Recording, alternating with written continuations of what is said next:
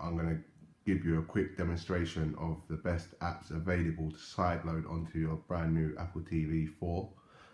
These apps will change in time, but as, as it stands at the moment, there's not much content available for you to sideload onto your Apple TV 4, but we have a list of the best free at this moment. So I'll quickly give you a quick look at what they do and what they're called. And we've also got blogs on how to install all of these apps on our website so if you click the link below, it will take you to our page where you can see all the latest apps available and if any more come out, there'll be blogs there showing you how to install them and what they do. So let's take a quick look at the apps we've got installed at the moment. So we've got Safari internet browser, we've got Kodi, and we've got Provenance. So let's take a look at Safari first. Um, it gives you a quick instructions on how to use it. We can go to dismiss and you can see you've got a Google web browser. Um, it's not as good as a normal internet browser, but it's better than having no internet browser at all.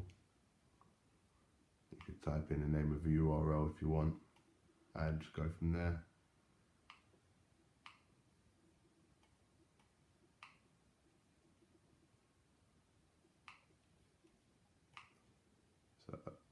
Google search for open just to show you what it looks like. And you can see you've got Open University.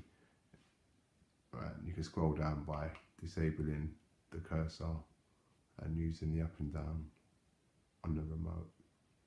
So you have to click it twice to enable it again to be able to click something on screen. So this is how the internet browser works for the Apple TV 4.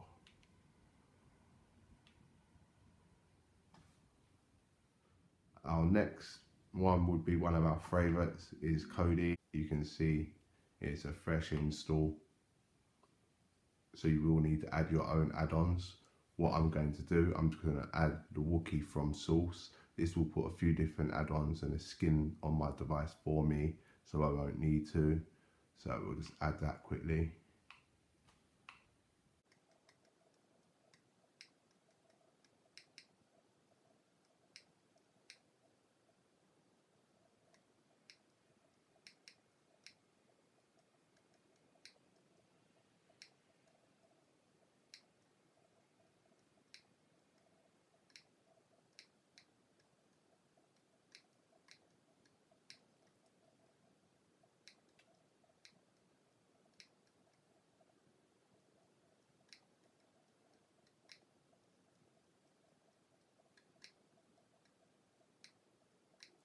So I've added this wizard. There's plenty of wizards out there, but I do find this one the best out there. So I'll add that.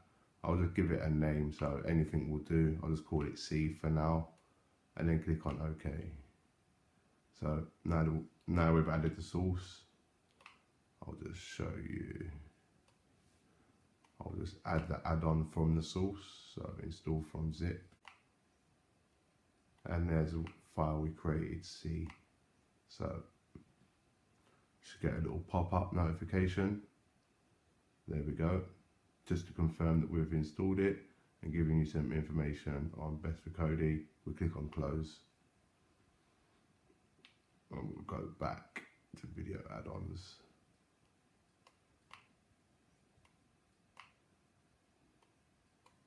Uh, we'll just try one of these. So it shouldn't take long to download. As you can see, it's only going to take about a minute. I'll speed it up though, so you don't have to wait. Now that's complete, we just need to click on the OK. So click on the OK button. What we need to do now is disconnect the power lead from the back of the Apple TV. It's the only way to make the skin take. If you don't do it, it's not going to work. So we'll just go out of here and then from this screen we'll disconnect the power lead and then just plug it straight back into the Apple TV. Do not click on this power switch down here, otherwise you're just going to waste your time. It's not going to load the skin when we're finished. So let's re let's restart it. So now the Apple TV is restarted, if we open Kodi,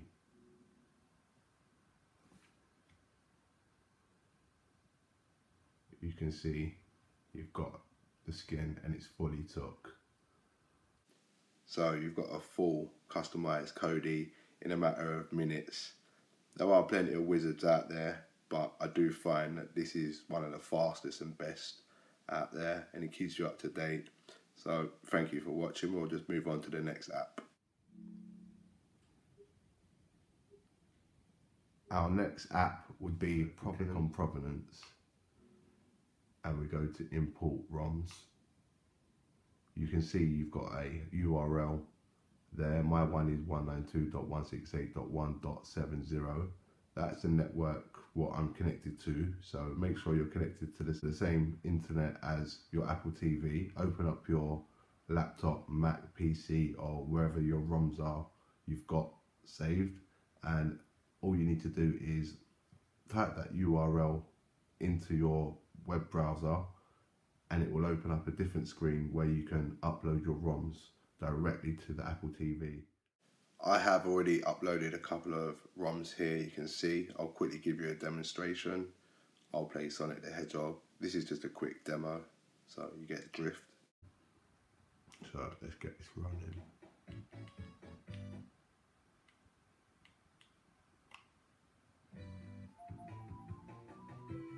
So I must point out I am using the Apple TV 4 remote control in order to control this.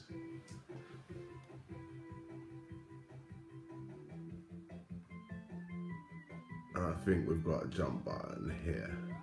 So it's quite simple, quite good. Oops.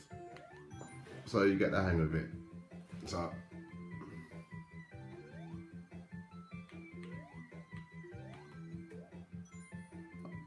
well, I suppose you don't want to sit here and watch me play Sonic the Hedgehog all day. So let me just come this out. Is Provenance on Apple TV. This is another one. It's a good app to, to install. You can get this from the App Store. So this is available via the Apple App Store. Click on there. It's TV player. It just allows you to watch live TV channels straight away through your device without any subscription, which is cool. You only get the basic ones, one, two, three, four, five, and a few more. You can subscribe and you'll pay extra ones to collect these channels, but it's just an extra app to have if you're into live TV, it's quite good. So this is what the Apple TV 4 looks like and these are the best apps at this time to install like I said, we'll keep our page updated with all the latest apps. So stay tuned and we'll be the first to announce any new apps available.